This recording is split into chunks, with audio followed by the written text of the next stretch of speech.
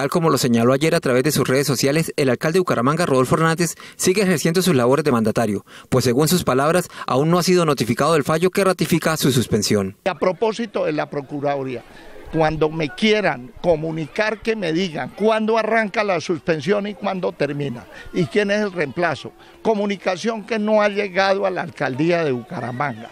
Para todos los que especulan y dicen, es una invitación que me digan a través del señor gobernador cuándo arranca la suspensión y cuándo termina. Y quién es el encargado mientras que se termina la suspensión.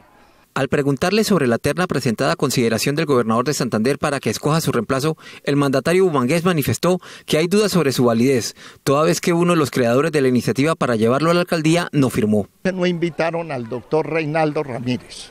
La terna iba firmada por dos y me dicen los abogados que la norma dice que la terna debe ser inscrita ante el gobernador de Santander por el representante legal o los que inscribieron la candidatura de movimiento cívico de lógica, ética y estética. ¿Quiénes escribieron la candidatura? Tres personas. llevaron dos, dos nomás. Falta uno. Los abogados dicen que pierde fuerza ejecutoria.